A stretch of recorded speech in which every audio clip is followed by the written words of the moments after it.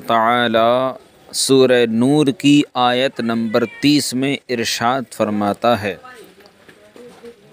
कुल्लिलमुमिनीन यगुद्दू मिन अबसारिहिम व यहफ़ज़ू फ़ुरूजहुम ज़ालिका अज़का लहुम इन्नल्लाह ख़बीरुम बिमा यसनऊन। मुसलमान मर्दों को हुक्म दो, अपनी निगाहें कुछ नीची रखें और अपनी शर्मगाहों की हिफाजत करें। ये उनके लिए बहुत सुथरा है। बेशक अल्लाह को उनके कामों की खबर है। आगे फरमाता है वक़ुल्लिलमुमिनाती यगदुदना मिन अबसारिहिन्न व यहफ़ज़ना फ़ुरूजहुन्न वला युबदीना ज़ीनतहुन्न इल्ला मा ज़हरा मिनहा। और मुसलमान औरतों को हुक्म दो, अपनी निगाहें कुछ नीची रखें और अपनी पारसाई की हिफाजत करें और अपना बनाओ सिंगार। ना दिखाएँ, मगर जितना ख़ुद ही ज़ाहिर है। औरतों को अपने शोहरों के लिए मेकअप करना जायज़ है। एक मरतबा हुजूर सल्लल्लाहु अलैहि वसल्लम की बारगाह में एक नाबीना सहाबी आए। हुजूर सल्लल्लाहु अलैहि वसल्लम ने अपनी अजवाज मतहरात, अपनी बीवियों के लिए हुक्म दिया कि वो पर्दा कर लें। उन्होंने कहा कि, या रसूलल्लाह, वो तो नाबीना हैं। उन्हें दिखता नहीं। मेरे आका ने फरमाया, क्या तुम भी नाबीना हो? तुम तो नाबीना नहीं। मुसलमान मर्दों के लिए भी चाहिए कि वो नामहरम औरतों की तरफ़ निगाह ना डालें। एक निगाह अगर पड़ गई तो फ़ौर हटा लें। और औरतों के लिए भी हुक्म दिया कि वो गैर महरम मर्दों की तरफ़ निगाह ना डालें, क्योंकि बद निगाही जना की पहली सीढ़ी हुआ करती है।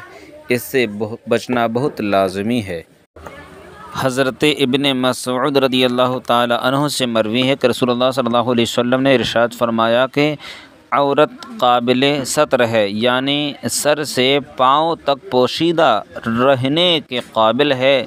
जब वो बाहर निकलती है तो शैतान उसकी ताकत में लग जाता है और मर्दों की नज़रों में अच्छा करके दिखाता है।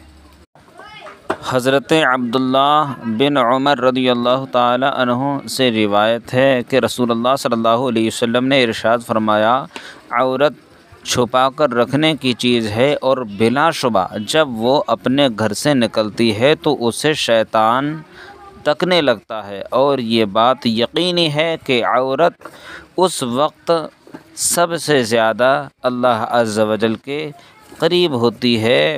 जब कि वो अपने घर के अंदर होती है। मालूम हुआ कि जो औरतें अल्लाह वजल का क़ुर्ब हासिल करना चाहती हैं, वो घर के अंदर ही रहें और हतुलमकान घर से बाहर निकलने से गुरेज़ करें। किन लोगों से पर्दा करना फ़र्ज़ है? हर गैर महरम, मर्द ख्वाह अजनबी हो, ख्वाह रिश्तेदार, घर के अंदर रहता हो या बाहर। हर एक से पर्दा करना औरत पर फ़र्ज़ है। हाँ उन मर्दों से जो औरत के महरम हो, उनसे पर्दा करना औरत पर फ़र्ज़ नहीं। महरम वो मर्द हैं जिनसे औरत का निकाह कभी भी और किसी सूरत भी जायज़ नहीं हो सकता। मसलन बाप, मामू, नाना, भाई, भतीजा, भांजा, पोता, खुसर, इन लोगों से पर्दा ज़रूरी नहीं। गैर महरम वो मर्द हैं जिनसे औरत का निकाह हो सकता है, जैसे चचा ज़ाद भाई, मामू ज़ाद भाई, फूफी ज़ाद भाई, जेठ, देवर वगैरह, ये सब औरत के गैर महरम हैं। और इन सबसे पर्दा करना औरत पर फ़र्ज़ है। और ख़बरदार मुर्शिद से, अपने पीर से भी पर्दा करना ज़रूरी है। क्योंकि वो भी औरत का गैर महरम है। इसीलिए जो औरतें मुरीद हैं, उनको चाहिए कि वो अपने पीरों से पर्दा करें यह फ़र्द है।